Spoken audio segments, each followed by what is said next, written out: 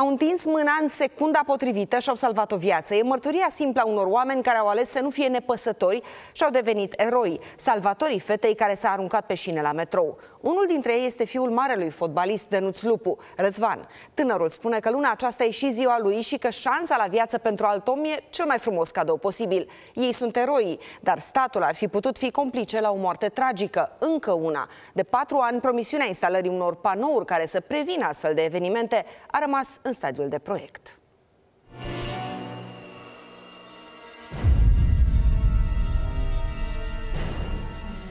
Cum când mai închid dat ochii, o văd pe ea, practic, fizic, să vin de acolo. S-a uitat în ochii mei și în momentul ăla am tras-o, pur și simplu am tras-o de mult. Și a fost milisecunda aia când eu am reușit să o trag și a lovit-o metrou peste picior. Răzvan și Alexandra sunt cei doi îngeri păzitori ai adolescentei de 15 ani care s-a aruncat în fața metroului. 8 secunde, atât a trecut din momentul în care fata a ajuns pe șine până când metroul a intrat în stație. 8 secunde în care prezența lor de spirit a salvat o viață. A văzut că metroul se apropie și s-a asărit între șine, striga la ea, mm. s-a răzgândit doar văzându-ne că suntem acolo și că i-am atras atenția. Și n-am stat să o gândesc, n-am stat să o analizez prea mult. Am văzut-o, i-am țipat la ea de mâna mea, de mâna. Instinct a avut și mecanicul de tren. La intrarea în stație, când a văzut-o pe fată, Dumitru Dan a frânat brusc și poate a oferit fracțiunea de secundă care a făcut diferența. Se vede că e în linie dreaptă, deci s-a văzut când a, că s-a aruncat. Da, a sărit ca bazinul cu apa, a sărit cu picioarele, că care am aplicat frâna de urgență și am dat și claxoane și am uh,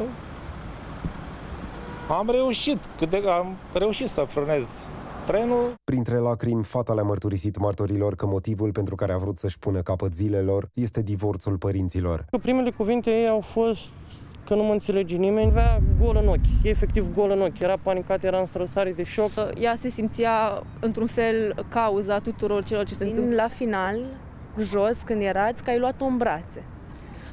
Da, am simțit asta și uh, mi aș, uh, aș și cerut într-un fel lucrul ăsta, să fie uh, comforted, să fie uh, alinată.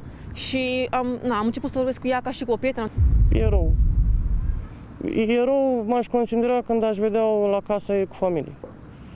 Să facă majoratul, să reușească să treacă peste. Fata este în continuare internată în spital sub supraveghere. Mama ei a vizitat-o, a vorbit cu medicii și a fost de acord cu tratamentul psihiatric. Pentru că este deja la a treia tentativă de suicid și pentru că le-a zis în mod repetat polițiștilor că ar fi fost abuzată fizic și psihic de către tatăl ei, protecția copilului a fost sesizată pentru a face o anchetă în familie.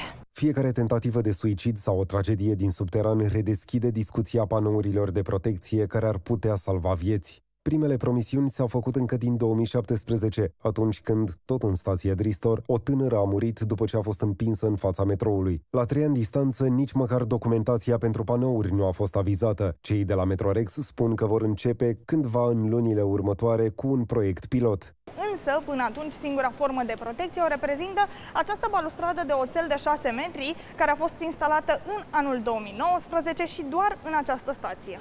Costurile mari sunt principalul motiv pentru întârzieri. Nu panourile în sine sunt scumpe, ci mentenanța lor. Costurile anuale, dacă acestea ar fi montate în toate cele 63 de stații, s-ar ridica la 132 de milioane de lei.